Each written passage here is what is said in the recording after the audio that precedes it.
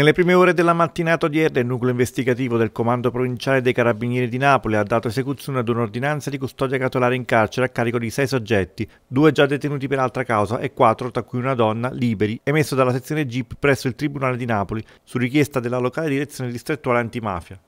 La vicenda che ha portato all'emissione del provvedimento cautelare trae origine dalla denuncia sporta nel mese di ottobre 2017 da un soggetto di origini napoletane, già titolare di attività commerciale, stanziatosi in provincia di Varese. Le attività investigative coordinate dalla DDA hanno permesso di contestare agli indagati il reato di estorsione, aggravato dalle modalità mafiose. Tra le persone sottoposte ad indagini figurano D'Amico Salvatore, alias O Pirata, noto esponente dell'omonima famiglia malavitosa, operante nel quartiere San Giovanni a Teduccio nel comune di Napoli, articolazione del più importante clan Mazzarella, nonché Baldassarre Massimiliano, alias O Serpente, soggetto ritenuto legato a contesti di camorra del comune di Sant'Anastasia.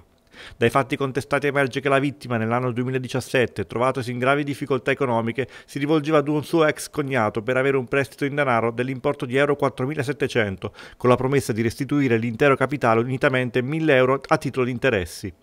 Per la restituzione del capitale e degli interessi il denunciante aveva incaricato il fratello che nell'eseguire il pagamento per l'estinzione del debito veniva tratto in inganno da uno dei soggetti colpiti dal provvedimento e in luogo di consegnare la somma di denaro ai soggetti che avevano provveduto all'erogazione del capitale, ossia Baldassare Massimiliano, li consegnava ad amico Salvatore fino alla montare di euro 3.900. Per farsi consegnare il denaro ad amico Salvatore proferiva minacce nei riguardi del fratello del denunciante, intimandogli anche che, se non avesse consegnato la somma di denaro richiesta, avrebbe portato via tutte le autovetture vetture dei suoi parenti su Napoli. I soggetti a questo punto usavano violenza e minaccia al fine di rientrare in possesso del prestito in precedenza concesso, oltre alla somma ulteriore euro 1000 da corrispondere a titolo di interesse.